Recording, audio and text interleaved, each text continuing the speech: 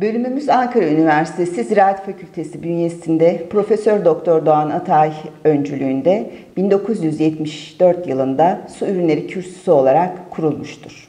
Ülkemizde ve Ankara Üniversitesi Ziraat Fakültesi'nde su ürünleri eğitimine ilk olarak 1979-1980 öğretim yılında su ürünleri bölümüne alınan öğrencilerle başlanmıştır. Bölümün ismi YÖK tarafından 2009 yılında su ürünleri mühendisliği olarak değiştirilmiştir. Şunu özellikle belirtmek isterim ki ilk olarak bölümümüzde başlayan su ürünleri eğitimi üç tarafı denizlerle çevrili ve zengin iç su kaynaklarına sahip ülkemizde bugün yaklaşık 25 fakültede su ürünleri eğitimi verilmesini sağlamış ve özel sektörde su ürünleri yetiştiriciliğine dolayısıyla ülke ekonomisine katkı sağlanmasına öncülük etmiştir. Bölümümüzde araştırma odaklı, sorgulayan ve yorumlayan, kendini sürekli yenileyen, çevreye duyarlı, analitik düşünebilen su ürünleri mühendisleri yetiştirmekteyiz.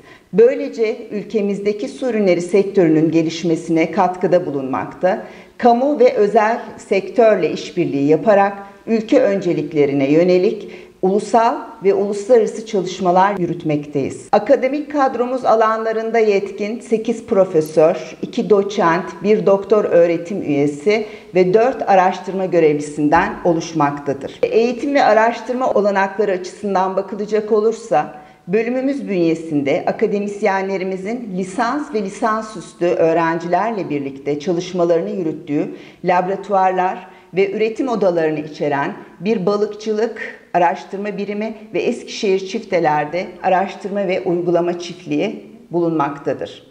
Mezunlarımız teorik ve uygulamalı olarak aldıkları eğitim sayesinde kamuda, Tarım ve Orman Bakanlığı'nda, Çevre ve Şehircilik, yine e, Kültür ve Turizm Bakanlıkları ve onlara bağlı kuruluşlarda, özel sektörde balık çiftlikleri, kuluçkahaneler, balık yemi tesisleri ve akvaryumculuk gibi alanlarda iş bulabildikleri gibi lisansüstü eğitimlerine devam edip akademisyen olarak e, üniversitelerde de görev yapabilmektedirler. Bölümümüz bünyesinde yer alan balıkçılık araştırma biriminde ağırlıklı olarak tatlı su balıkları ve akvaryum balıkları ile e, kerevit ve karides gibi kabuklara yönelik araştırma ve üretim faaliyetlerinin yürütüldüğü 6 adet üretim odası bulunmaktadır. Ayrıca Eskişehir Çifteler mevkiinde bulunan ve yıllık 60 ton üretim kapasitesine sahip su ürünleri üretim ve araştırma istasyonunda ise alabalık, sazan, yayın, mersin balığı ve tilapya balığı gibi iç su balıklarının üretimine yönelik faaliyetlerde sürdürülmektedir. Merhaba, adım Salih, İran vatandaşıyım. Ankara Üniversitesi Sürüleri Mühendisliği bölümünde doktora yapıyorum. TÖMER'den sonra 2014-2016 arasında yüksek lisans yaptım. Tekrar hedeflerimi gerçekleştirmek için 2017 yılında doktora programına başvurdum. Ankara Üniversitesi Sürüleri Mühendisliği bölümün tercihim ise Türkiye Cumhuriyeti'nin ilk e, sürüleri mühendisliği olmasından dolayı ayrıca yetkin akademik kadrosunun güçlü olmasından tercihte bulundum. Buradayken e, çok çalışmalarda yer aldım ve çok güzel bir tecrübeler elde ettim. 2015 yılında e, TAGEM projesinde araştırmacı yardımcısı olarak yer aldım.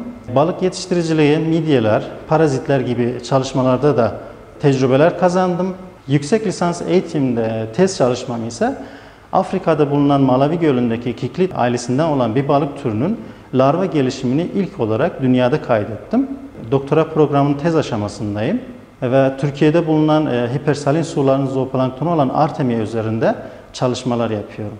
Su ürünleri mühendisliği bünyesinde kurulan Evrimsel Genetik Laboratuvarı 2014 yılında kurulmuştur.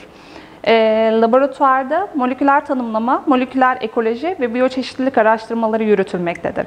Ve aynı zamanda e, Evrimsel Genetik Laboratuvarı'nda barkodlama ve çevresel DNA olmak üzere farklı araştırmalarda yapılmaktadır.